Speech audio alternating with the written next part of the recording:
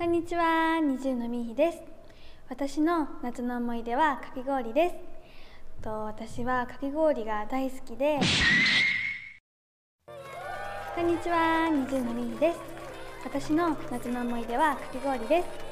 と私はかき氷が大好きで、小学生の頃にかき氷機を買ってもらって夏休み中にお家でいろんなシロップを買ってたくさんかき氷を食べた記憶があります以上みーひでしたバイバイ